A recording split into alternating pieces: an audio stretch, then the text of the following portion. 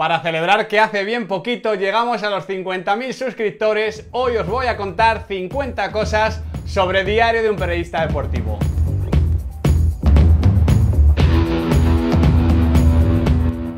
Muy buenas chicos y chicas, ¿qué tal estamos? Bienvenidos de nuevo a Diario de un Periodista Deportivo y 50.000 gracias por esos 50.000 suscriptores. Para celebrar llegar a esta cifra que es bastante especial, aunque lo será un poquito más cuando lleguemos a 100.000, vamos a responder o voy a responder a varias de las preguntas que me soléis hacer por aquí en YouTube, sobre todo en privado por Instagram, acerca del canal de Diario de un Periodista Deportivo. Así que prepararos, listos y comenzamos.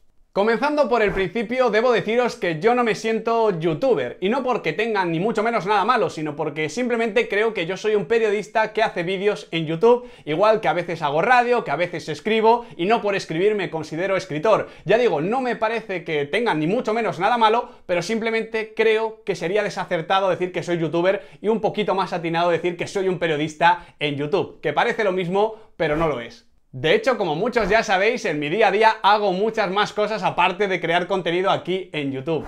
Por ejemplo, escribo en la revista Panenka sobre perfiles de futbolistas, reportajes o análisis tácticos. También comento en marcador de Radio Marca partidos de la liga, uno cada fin de semana como suelo avisar por Instagram. Esta temporada además también analizo la Champions junto a los amigos de Marcador Internacional en Europa Estadio Central. Y por último, coordino también la network de OneFootball en castellano. Pero volviendo a YouTube, me soléis preguntar muchas veces cuáles son los vídeos más complicados de grabar. Yo creo que no hay ninguno en particular, pero sí que es verdad que noto un poquito más de exigencia cuando se trata de un vídeo, sobre todo de un análisis de un fichaje del Real Madrid o del Fútbol Club Barcelona. Sobre todo porque son futbolistas más conocidos, hay un poquito más de presión mediática, de muchos comentarios, de muchos estigmas, de muchas críticas y muchas visiones diferentes confrontándose y por tanto simplemente creo que hay que medir un poquito más las palabras y eso también lo hace un poquito más complicado. Además, los vídeos de los lunes también os debo confesar que son duritos, ¿eh? son complicados porque, bueno, hay que juntar 10 partidos en un solo vídeo, vengo del fin de semana de hacer muchas cosas, de ver 10 partidos de Liga Española, de jugar también al baloncesto, que me deja el cuerpo absolutamente molido, y encima tengo que madrugar el lunes siguiente. Es un poquito complicado y por eso normalmente se generan muchas tomas falsas que os voy poniendo por Twitter y que realmente darían para hacer un vídeo. Y no os preocupéis, spoiler, ya os lo adelanto, va a haber vídeo de esto. Vamos que sí lo va a haber. Al contrario, los más sencillos, los más fáciles de grabar son normalmente las colaboraciones, las charlas con amigos, porque al final no es lo mismo conversar de fútbol, charlar, como haríamos cualquiera de nosotros, que exponer, que ponerte delante de la cámara y darle la chapa a una persona durante 10 minutos hablando de fútbol. Eso todavía me cuesta un poquito más, no me siento tan cómodo, no me siento tan natural y por eso cuando viene un amigo a sentarse conmigo, salvo que sea Andrés Onrubia, disfruto bastante. Además es que son mis vídeos favoritos, son los que más disfruto, como digo, cuando tengo que ir a la casa de charlas de fútbol o de la media inglesa, me lo paso realmente bien, disfruto una barbaridad y además siento que los vídeos quedan pues un poquito mejor incluso. Luego, eso sí, os tengo que confesar que cuando vuelvo tengo un poquito de nostalgia, porque yo siempre he estado acostumbrado a estar dentro de un proyecto con muchos amigos, colaborando, codo a codo, día a día, y claro, luego volver a la soledad del trabajo individual cuesta un poquito. A mí me gusta charlar de fútbol con amigos y por eso intento siempre hacer colaboraciones continuas, pero ya digo que luego el puntito de volver después a casa se hace ah, un poquito amargo. Por eso desde el principio creía que una de las señas de identidad, una de las características de diario de un periodista deportivo tenía que ser el número de colaboraciones, porque el fútbol es para disfrutarlo todos juntos, es para debatirlo todos juntos, para vivirlo entre amigos. Y de hecho, con la visita de Pedro Barata ya llevamos 41 amigos que se han pasado por aquí, por el canal. Pero además de disfrutar y de compartir el fútbol, también creo que hay un punto de enriquecer el contenido. Las colaboraciones enriquecen el contenido constantemente, porque, bueno, yo veo mucho fútbol, me gustaría ver más, pero aún así considero que veo mucho fútbol y aún así no llego a todos los puntos, no puedo conocer a todos los futbolistas, ni siquiera de la élite en profundidad al 100%, no puedo ver todos los partidos de todas las ligas, es imposible. Y aquí en Diario de un Periodista Deportivo quiero tocar todos los temas mm, abarcando el máximo número de, nombres y de ligas posibles, pero siempre tratándolos con mucho eh, respeto, con mucho contenido y en profundidad. Por eso agradezco una barbaridad cuando se pasa Pedro Barate y nos cuenta toda la trayectoria de Bruno Fernández, cuando viene Irati o José Rodríguez a hablar del calcio, cuando Andrés Onrubia nos empieza a vender la moto sobre un central francés de 19 añitos que saca muy bien el balón jugado, o cuando la media inglesa nos empieza a contar lo que hace el centrocampista del Sheffield los martes por la noche. Eso me parece que enriquece mucho el contenido y digamos que también, por supuesto, hace mucho mejor el canal. Y al margen de las colaboraciones, otro tipo de vídeo que disfruto una barbaridad son las pizarras. Son esos análisis tácticos donde os intento contar un poquito mejor cómo juega un equipo o cómo juega un futbolista. Son, eso sí, los vídeos que más tiempo cuestan de hacer de largo, pero de largo. Pero es que mi intención con este canal y en general con cualquier contenido periodístico que hago es que cuando lo hayáis consumido, además de haberlo pasado bien y haber disfrutado ese rato, también hayáis aprendido un poquito más, que hayáis sabido un poquito más o hayáis conocido un poquito más una perspectiva diferente de un equipo, un jugador o de lo que sea. Y eso, evidentemente, lleva tiempo. Porque el periodismo en general lleva tiempo y el tiempo cuesta dinero. Y esta me parece una de las grandes claves de la deriva que ha llevado el sector en los últimos 10-15 años, ya no solo en el aspecto deportivo, sino en general. Otra de las grandes premisas cuando abrí el canal era hacer muchas entrevistas, sobre todo a los entrenadores de primera división. Sin embargo, me he ido topando con un no absolutamente contundente, definitivo e irrebatible en todas las puertas que he ido tocando. Y no de los profesionales. He tenido el sí de entrenadores, de analistas e incluso de capitanes de primera división. Pero los jefes de prensa, no, no me dejan. Al final todas las colaboraciones con youtubers o con contenido en YouTube se reduce a lo que mueven las marcas, a lo que mueve el dinero. Yo lo entiendo perfectamente, el negocio es el negocio, pero me parece sinceramente una pena y no porque esté yo implicado, sino porque creo que en YouTube también se hace buen periodismo. Pero no os preocupéis que lo sigo intentando, que sigo llamando a puertas y de hecho os tengo que avanzar que en los últimos días he mantenido varias reuniones interesantes para poder entrevistar a varios protagonistas de primera división, incluido un futbolista talentosísimo que esperemos, volvemos a tocar madera, que esté prontito aquí en Diario de un Periodista Deportivo. Otra cosa que me preguntéis mucho es cómo grabo. Si estoy leyendo un guion, si estoy leyendo un teleprompter, no. No grabo con guion, no leo nada y por eso me trabo también muchas veces. Lo que sí tengo es un guion conceptual, es decir, una serie de términos apuntados en un orden más o menos coherente para que luego la exposición salga fluida y tenga sentido, y también ciertos nombres, ciertos precios, fechas, eh, apuntes importantes que no me quiero dejar cuando esté haciendo precisamente la exposición. Y la verdad es que sale bastante fácil, aunque como digo muchas veces me trabo porque mi lengua va un poquito más lenta que mi cabeza, suele salir bastante del tirón.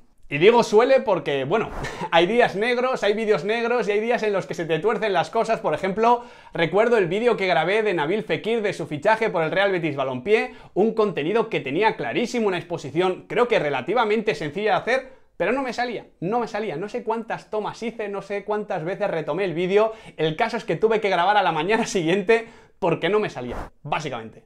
Otra cosa que me preguntáis muchos es si tardo mucho en pensar los vídeos, en organizar el calendario. La verdad es que no, tardo muy poquito.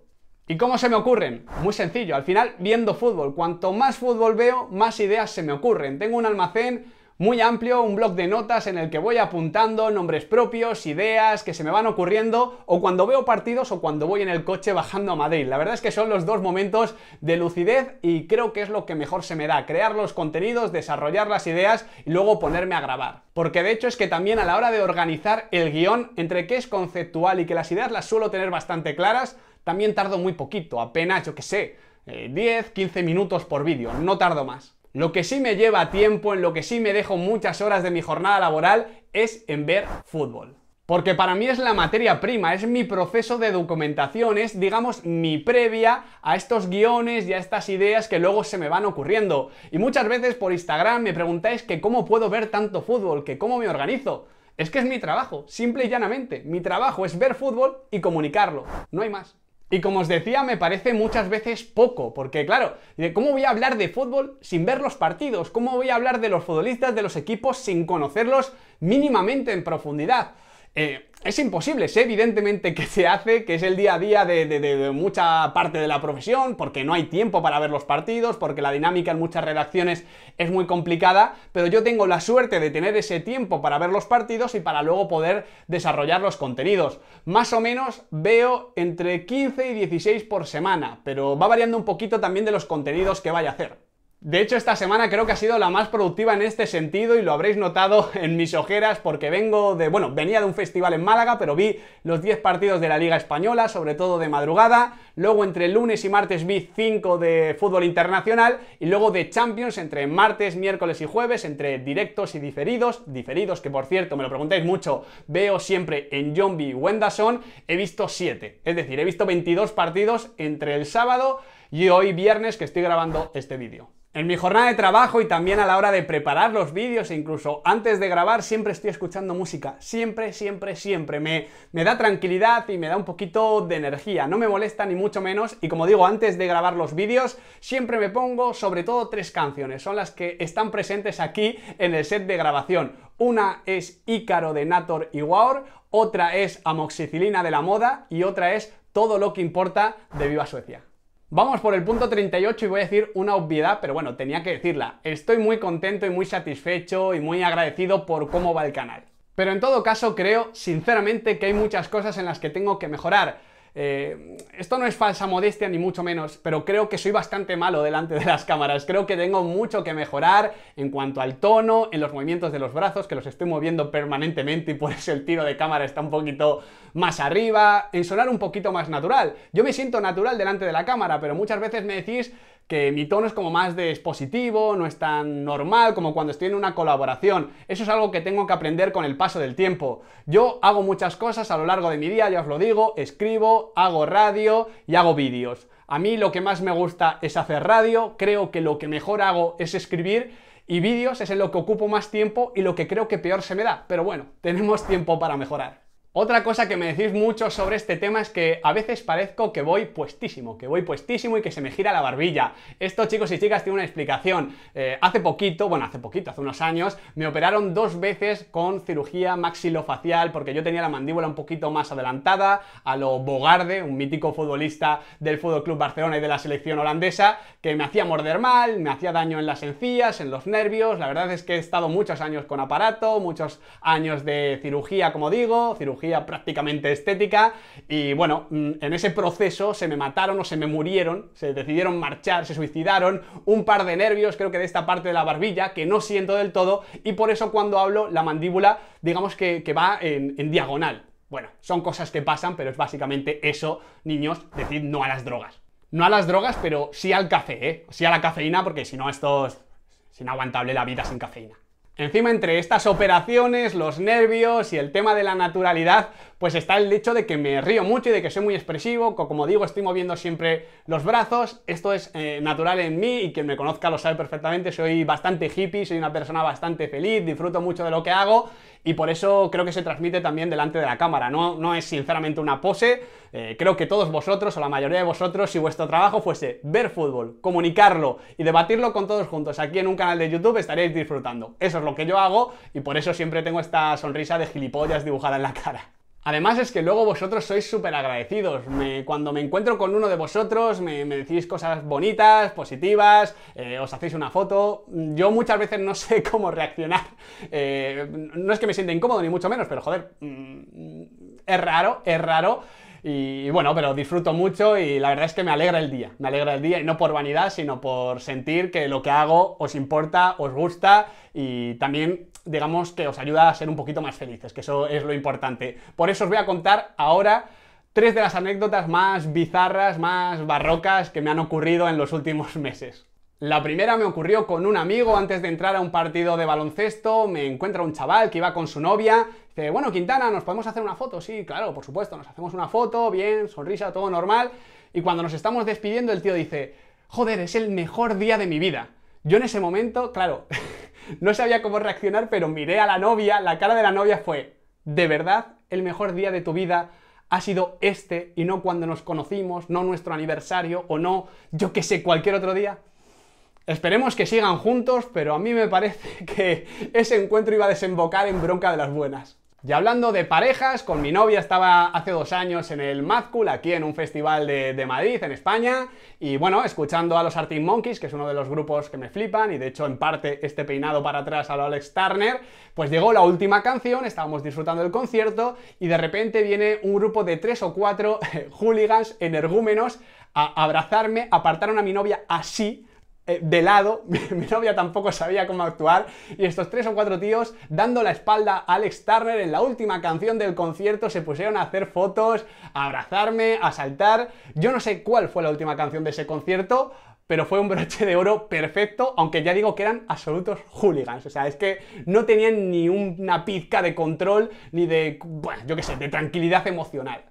Pero, pero, dicho todo esto, a uno de vosotros os debo básicamente la vida, porque en otro concierto de Carolina Durante aquí en Madrid, también en la sala de 8 y medio, en medio de un pogo gigantesco, que de hecho podéis buscar en YouTube, eh, Carolina Durante 8 y medio, para ver lo que se montó, pues yo caí al suelo, perdí las dos zapatillas y veía como toda mi vida pasar mientras la muchedumbre me, atrapaba, me pisaba, de todo. Eh, fue un momento un poquito de, de, estrés, de ahogo, y de repente metiendo un tío la mano, me levanta, todo ok, muy, muy, yo qué sé, muy humano, muy natural, pero es que el tío me dice, Quintana, que no te puedes morir, que tienes que seguir haciendo vídeos. Yo en ese momento, entre que estaba intentando recuperar la respiración y que me había salvado un suscriptor del canal, no sabía tampoco cómo sentirme.